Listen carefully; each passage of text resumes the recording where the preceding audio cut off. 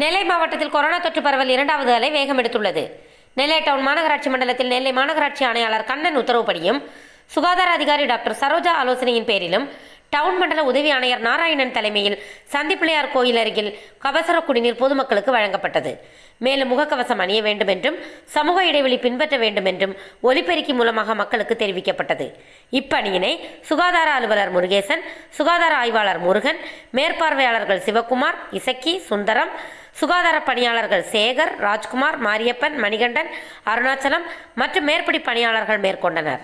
காய்ச்சல் உடல்வலி சளி இருமல் தும்மல் பசியின்மை நுகர்வு திறன் குறைவு போன்ற அறிகுறிகள் இருந்தால் அருகில் உள்ள மாநகராட்சி மருத்துவமனையில் கொரோனா டெஸ்ட் எடுத்துக்கொள்ள வேண்டும். மருந்து கடைகளில் சுயமாக மாத்திரைகள் வாங்கி சாப்பிடும் சுய வைத்தியத்தை தவிர்க்கவும். தொடர்ந்து ஐந்து நாட்கள் அனைவரும் கபசுர குடிநீர் நாள் ஒன்றுக்கு அறுபது மில்லி என்ற அளவில் குடிக்கவும். முக கவசமின்றி வெளியில் நடமாடினால் ரூபாய் இருநூறு அபராதம் கட்ட நேரிடும். சமூக இடைவெளியை பின்பற்றவில்லை என்றால் ரூபாய் ஐநூறு அபராதம் கட்ட நேரிடும். பொது இடங்களில் எச்சில் துப்பினால் ரூபாய் ஐநூறு அபராதம் கட்ட நேரிடும். கொரோனா தனிமைப்படுத்துதலை மீறினால் ரூபாய் ஐநூறு அபராதம் கட்ட நேரிடும். கொரோனா தடுப்பு நிலையான வழிமுறைகளை பின்பற்றாத கடைக்காரர்கள் ரூபாய் ஐயாயிரம் அபராதம் கட்ட நேரிடும். ஆகவே பொதுமக்கள் முகக்கவசம் அணிந்து சமூக இடைவெளியை பின்பற்றி கொரோனா நோய் பரவுவதை கட்டுப்படுத்த ஒத்துழைப்பு தரும்படி கேட்டுக் கொள்ளப்படுகிறது. இங்கனம் ஆணையாளர் திருநெல்வேலி மாநகராட்சி.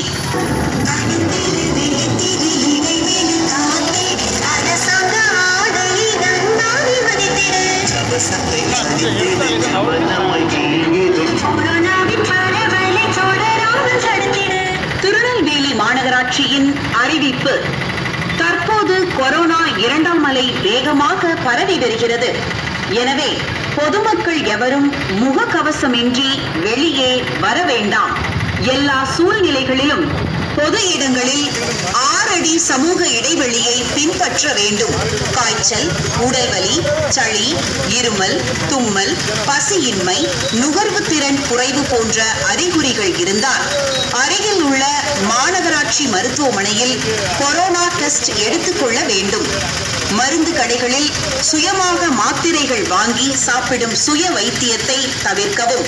தொடர்ந்து ஐந்து நாட்கள் அனைவரும் கபசுர குடிநீர் நாள் ஒன்றுக்கு அறுபது மில்லி என்ற அளவில் குவிக்கவும்.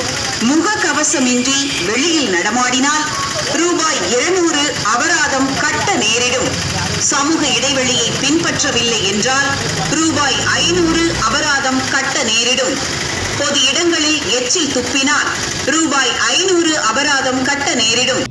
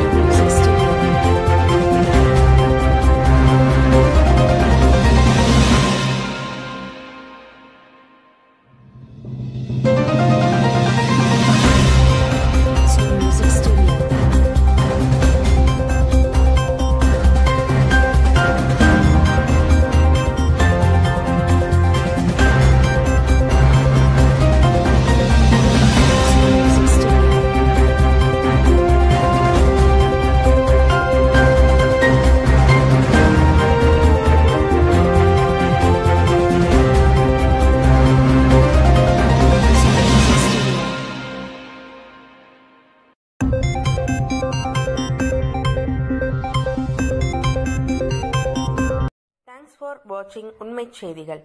நெல்லை செய்திகளை உடனுக்குடன் தெரிந்து கொள்ள சேனலை சப்ஸ்கிரைப் பண்ணுங்க லைக் பண்ணுங்க ஷேர் பண்ணுங்க.